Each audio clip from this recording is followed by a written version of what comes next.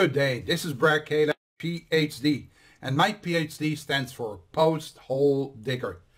That stands for Post Hole Digger, for the prodigal son and daughter.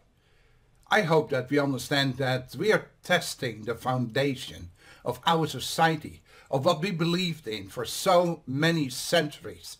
It turns out that the presidency of Mr. Trump, the insurrection, incitements, questions a lot of our beliefs and what we stood for for centuries. Is it possible that we have turned a page as a society and we are not even aware of it? Let's check out where we stand as a society. Can we in Western University, in the anniversary and in the whatever we want to call it, our society that we live in, can we act like primitives? People that don't like you, they kill you.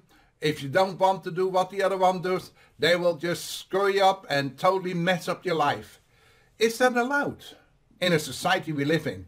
And why is it possible that in the United States of America, we have the body of Christ, Christianity, the evangelicals, or whatever they prefer to call themselves, people that are based on the principles of Yeshua HaMashiach, also known as Jesus, that we allow or participate in chasing the leadership to kill him because we don't get what we want.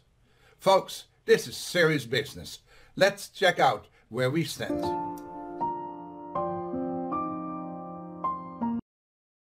See, the beauty of it is that as Caleb, I have the ability to express myself. But the reality is that for me, it is extremely frustrating to share the frustration I am not going to, through myself, but that I had to go through in order to come to the conclusions that we are stating. Our society is screwed up to the core. And why is that possible? We have more educated people than we had centuries before. We have more people that know how to eat proper with a knife, a fork and a spoon. We have more people that know how, how to express themselves in a proper form so that they sound scientific or educated. And yet, when it comes down to basic courtesy, basic human interaction, we, for some reason, seem to completely fail as a society.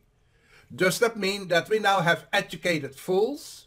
Or are we fooling ourselves as a society that with all our education, with all our pushing aside what has to do with the Bible, that we no longer need the Bible because we are special. We are people that can, with our education, declare and create a society that is worse than it was 500 years ago. How is that possible, folks? We have a president in the United States promoted by evangelicals. Now, why am I pressing this? Because I don't want to be political, but I have to make you aware that there is a problem. Now, my challenge is that I was born in the same time period as Mr. Trump. I am from 1950, June 1950. That makes me this year 71 years of age. Yet we were created to live forever. So why is it that men around the 60s, 70s, and 80s are doing so weird? We were supposed to have wisdom.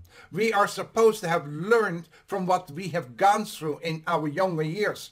And yet society, Christianity, or evangelicals in a strong volume of believers are following a man that screws around, will do whatever it takes. Now, why am I so opposed to Mr. Trump? Or am I even opposed to Mr. Trump? Personally, whether I vote or not vote for Trump is immaterial because I am not an American. My vote does not count. My opinion, however, is important because with my opinion, I am sharing something from a biblical state. It's not what I think, it's what the Bible states.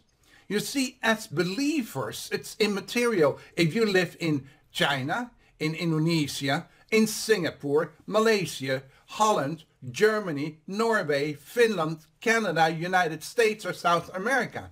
As believers, we are all one. We might have a different name and we're Danish or Dutch or Canadian or American. So we have a political difference maybe in how you vote, but we have a basic similar understanding of what Yeshua HaMashiach said. And why is it that the Americans acting the way they are doing now? If you are not white, you have a problem. If you are black, you have a problem. And if you are in between, you have a problem. That means that United States is the United States of problems. Or can it be different? You see, the basic understanding is the teachers that are standing in front of any group. Doesn't matter if you are saying it in Dutch, in English, in Spanish, or African languages. If you are a teacher, I want you to pay attention because what you're teaching right now is that what God wants you to teach or is that your own information based on the fact how much money you can get out of the people. See, if we are choosing for the narrow road, we are choosing to follow the way, the truth and the light. And that part comes from God Almighty. When Adam and Eve were deceived in paradise, God had to lock them out immediately. And why was that? See, God created us PMS. He gave us a physical, the P for physical. The M, he made us mental so that we could communicate with each other. And then we have the S for spiritual. Now, when we are spiritual, we were created according God's image. That means that we were created to live forever. But if God would not have stepped in immediately, he was not punishing them. He had to step in to block them so that they would not be forever wandering. He wanted his children at home. I am a parent. We had three kids. Our first one passed away in my own arms, and it changed me completely. Our two other ones are Canadians, wonderful kids, a boy and a girl, a man and a, a woman. We're proud of them and we're thankful for them. But you know what it is? So is God proud of you. God created you. You say, well, my mom and my daddy. Yes, God created you through your mom and your dad because God created the principles. How can we be born in a world full of anxiety and still of peace? Because there is a spiritual aspect and one of the problems that we have, if we do not teach the spiritual aspects of our living in our society, we get a society where Mr. Trump can act the way he is acting right now. Mr. Trump is not a Christian. Mr. Trump is Trump, thinking of himself, working for himself, filling his pockets for himself. I can tell you all kinds of stuff, but that is not important. You will find out for yourself. The news will come out. They will catch up. How much he has been filling his pocket. It cost every time he went out to play golf one and a half to three and a half million dollars. Yes, folks. Every time that Mr. Trump went to play golf it, at his own estate, one and a half to three and a half million dollars. And you're saying, oh, you're so wonderful. And he did about 50 times. So he spent over 150 million dollars playing golf and letting 450,000 people die because of his inactivity? Or was it filling his pockets because millions of those vaccines disappeared? Uh, what do you mean? Well, remember they said we have so many units available. And when Biden took over and he was going to release those units, they were not there.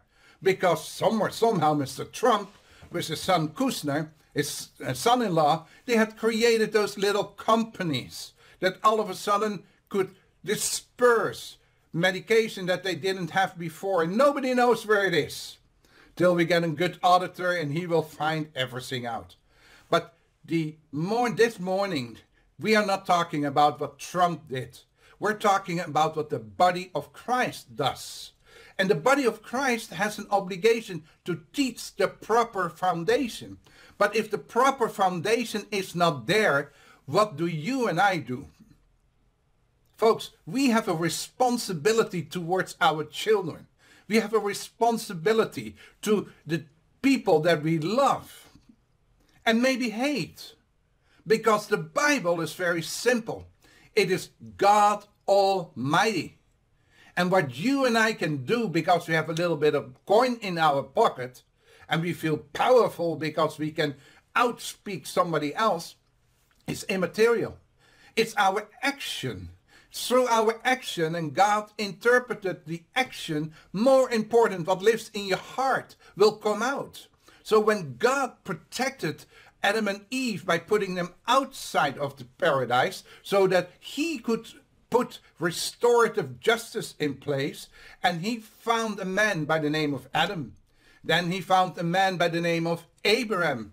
Then he found a man by the name of Moses. And Moses was the first one that he could finally give him a covenant. A covenant for the Ten Commandments. And that covenant was made for the children of light. And who are the children of light? The children of light are the ones that are following the word of God. See, you can speak like Mr. Trump. I'm a Christian and hold your Bible upside down because you don't know what is front and left. But if your actions are against what the Bible shares with you, then you are not a follower of the way, the truth, and the light. You are a con man. And Mr. Trump's best buddies are con men. They control mafia. They control the Khazarian mafia. They control Zionists. They control the monies. Now, if the Bible talks about the lust of money, you're following Mammon, Beelzebub, then it's very clear. If you are a pastor of a church of 50, 100, 200, 400, 500,000 people, or millions of people, and you are now a multi, multi, multi millionaire, there is something not right. Because it is not about you. It's not about me. It's about the Lord God Almighty. He is an awesome God. We are servants. Well done, you good and faithful servant. Not look how mighty and look how powerful I am, how well I speak. You're a sucker, mister. And I don't care if your name is whatever your name is and shows up in thousands of mil millions of households. I am a servant of God, and as a servant, I honor my Lord. I honor my God.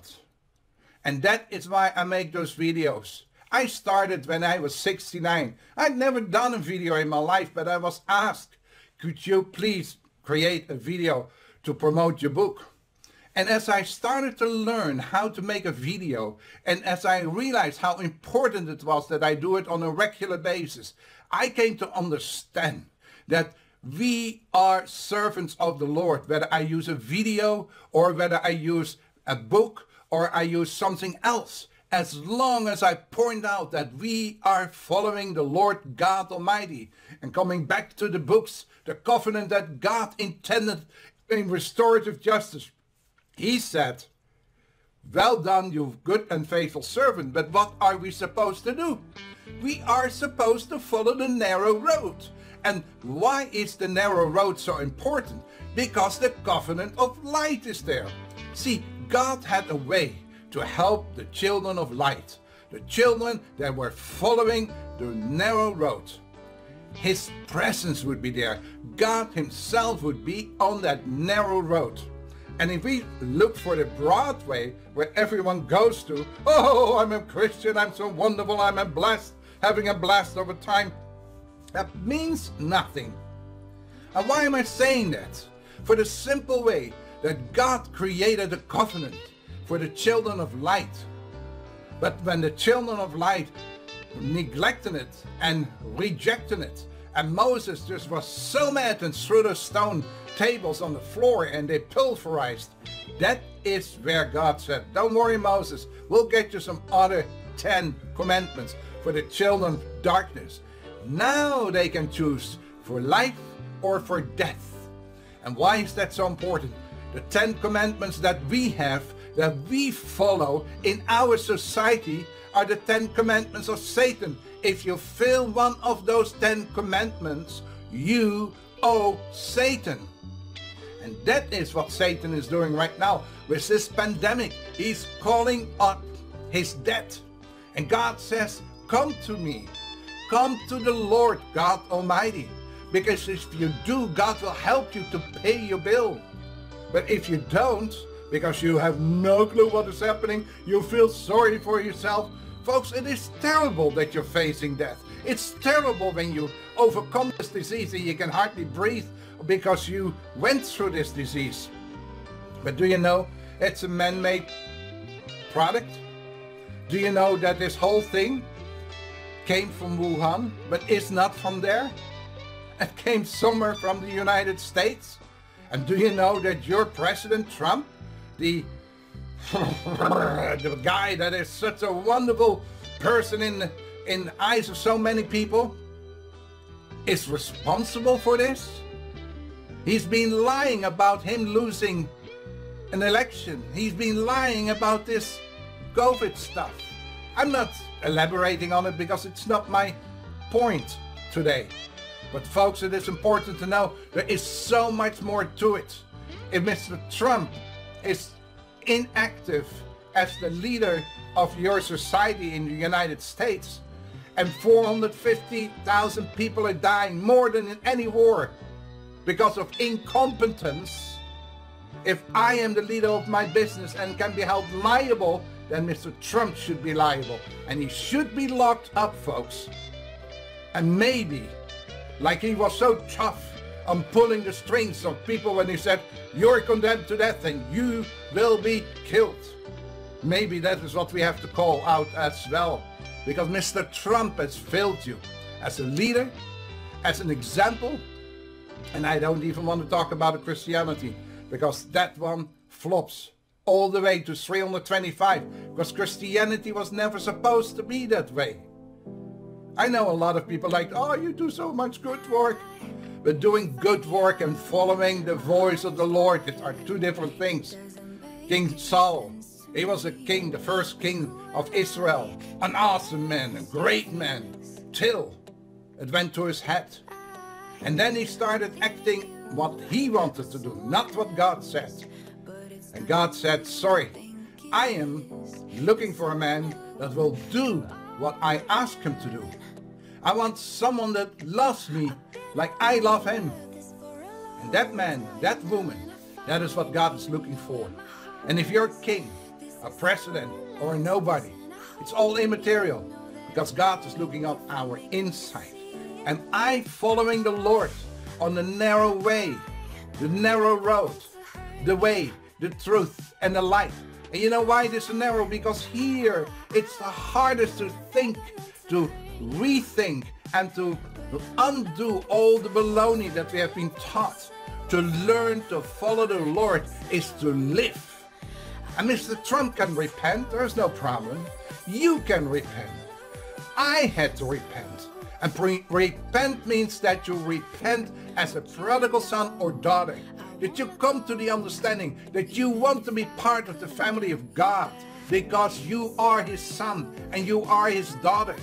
But you got to make that decision, folks. I love you very much and I can continue going on. But it is important that you understand that politics is only part of the expression of God. And people that manipulate, they have to pay the price. And if Mr. Uh, Trump ends up in jail with his whole family, if that is the price he has to pay to wake up, then that is the price he has to pay. But reality is, what are you going to do with this information? Are you waking up? Do you love yourself more than anybody else or do you love God? And if you don't know how to love, ask God. Teach me how to love my neighbors. Teach me how to love you.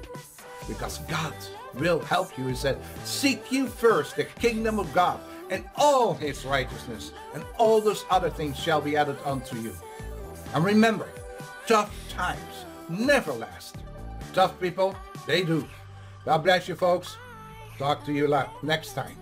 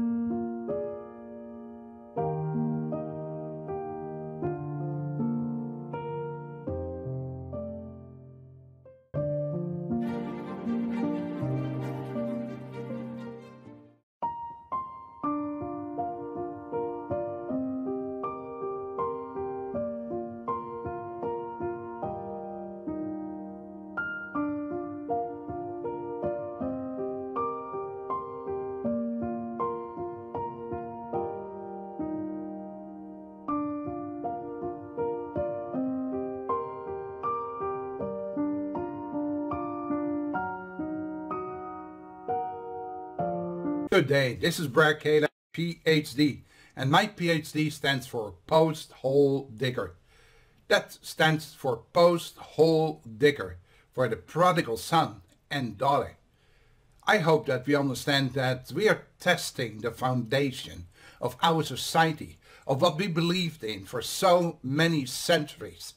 It turns out that the presidency of Mr. Trump the insurrection, incitements, questions a lot of our beliefs and what we stood for for centuries.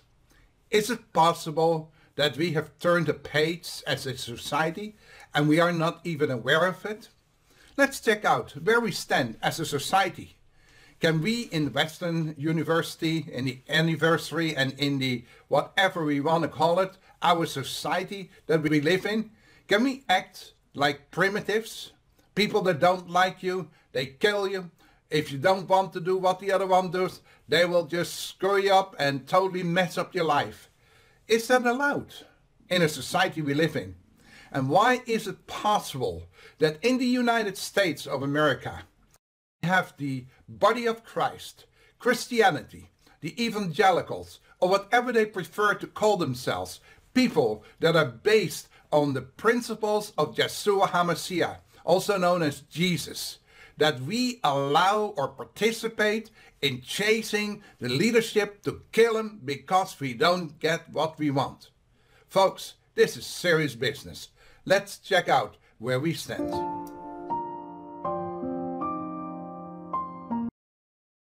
See, the beauty of it is that as Brer Caleb, I have the ability to express myself. But the reality is that for me, it is extremely frustrating to share the frustration I am not going to, through myself, but that I had to go through in order to come to the conclusions that we are stating. Our society is screwed up to the core. And why is that possible? We have more educated people than we had centuries before. We have more people that know how to eat proper with a knife, a fork and a spoon. We have more people that know how, how to express themselves in a proper form so that they sound scientific or educated. And yet, when it comes down to basic courtesy, basic human interaction, we, for some reason, seem to completely fail as a society. Does that mean that we now have educated fools? Or are we fooling ourselves as a society that with all our education, with all our putting aside what has to do with the Bible, that we no longer need the Bible because we are special. We are people that can, with our education, declare and create a society that is worse than it was 500 years ago. How is that possible, folks? We have a president in the United States promoted by evangelicals. Now, why am I pressing this? Because I don't want to be political. But I have to make you aware that there is a problem. Now, my challenge is that I was born in the same time period as Mr. Trump. I am from 1950, June 1950. That makes me this year 71 years of age. Yet we were created to live forever.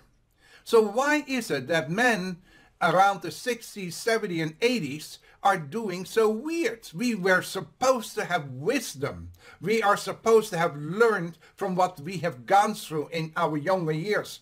And yet society, Christianity, or evangelicals in a strong volume of believers are following a man that strolls around, will do whatever it takes. Now, why am I so opposed to Mr. Trump? Or am I even opposed to Mr. Trump? Personally, whether I vote or not vote for Trump is immaterial because I am not an American. My vote does not count. My opinion, however, is important because with my opinion, I am sharing something from a biblical state. It's not what I think, it's what the Bible states. You see, as believers, it's immaterial if you live in China, in Indonesia, in Singapore, Malaysia, Holland, Germany, Norway, Finland, Canada, United States, or South America. As believers, we are all one. We might have a different name and we're Danish or Dutch or Canadian or American. So we have a political difference maybe in how you vote, but we have a basic similar understanding of what Yeshua HaMashiach said. And why is it that the Americans acting the way they are doing now? If you are not white, you have a problem. If you are black, you have a problem. And if you are in between, you have a problem. That means that United States is the United States of problems. Or can it be different? You see, the basic understanding is the teachers that are standing in front of any group doesn't matter if you are saying it in Dutch, in English, in Spanish, or African languages. If you are a teacher, I want you to pay attention because what you're teaching right now is that what God wants you to teach or is that your own information based on the fact how much money you can get out of the people. See, if we are choosing for the narrow road, we are choosing to follow the way, the truth, and the light. And that part comes from God Almighty. When Adam and Eve were deceived in paradise, God had to lock them out immediately. And why was that? See, God created us PMS. He gave us a physical, the P for physical, the M, he made us mental, so that we could communicate with each other. And then we have the S for spiritual. Now, when we are spiritual, we were created according God's image. That means that we were created to live forever. But if God would not have stepped in immediately, he was not punishing them. He had to step in to block them so that they would not be forever wandering. He wanted his children at home. I am a parent. We had three kids. Our first one passed away in my own arms and it changed me completely. Our two other ones are Canadians, wonderful kids, a boy and a girl, a man and a, a woman. We're proud of them and we're thankful for them. But you know what it is? So is God proud of you. God created you. You say, well, my mom and my daddy. Yes, God created you through your mom and your dad because God created the principles. How can we be born in a world full of anxiety and still of peace? because there is a spiritual aspect. And one of the problems that we have if we do not teach the spiritual aspects of our living in our society, we get a society where Mr. Trump can act the way he is acting right now. Mr. Trump is not a Christian. Mr. Trump is Trump, thinking of himself, working for himself, filling his pockets for himself. I can tell you all kinds of stuff, but that is not important. You will find out for yourself. The news will come up. They will catch up. How much he has been filling his pocket. It cost every time he went out to play golf one and a half to three and a half million dollars. Yes, folks. Every time that Mr. Trump went to play golf in, at his own estate, one and a half to three and a half million dollars. And you're saying, oh, you're so wonderful. And he did about 50 times. So he spent over 150 million dollars playing golf and letting 450,000 people die because of his inactivity? Or was it filling his pockets because millions of those vaccines disappeared? Uh, what do you mean? Well, remember they said we have so many units available. And when Biden took over and he was going to release those units, they were not there. Because somewhere, somehow, Mr. Trump, with his son Kushner, his uh, son-in-law, they had created those little companies that all of a sudden could disperse medication that they didn't have before. And nobody knows where it is. Till we get a good auditor and he will find everything out. But the more this morning, We are not talking about what Trump did. We're talking about what the body of Christ does. And the body of Christ has an obligation to teach the proper foundation. But if the proper foundation is not there, what do you and I do? Folks, we have a responsibility towards our children.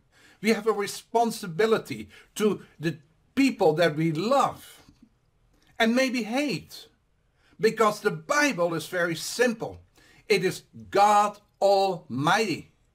And what you and I can do because we have a little bit of coin in our pocket and we feel powerful because we can outspeak somebody else is immaterial. It's our action. Through our action, and God interpreted the action more important. What lives in your heart will come out. So when God protected Adam and Eve by putting them outside of the paradise so that he could put restorative justice in place and he found a man by the name of Adam. Then he found a man by the name of Abraham. Then he found a man by the name of Moses. And Moses was the first one that he could finally give him a covenant. A covenant for the Ten Commandments. And that covenant was made for the children of light. And who are the children of light? The children of light are the ones that are following the word of God. See, you can speak like Mr. Trump. I'm a Christian and hold your Bible upside down because you don't know what is front and left. But if your actions are against what the Bible shares with you, then you are not a follower of the way, the truth, and the light. You are a con man. And Mr. Trump's best buddies are con men. They control mafia. They control the Khazarian mafia. They control Zionists. They control the monies.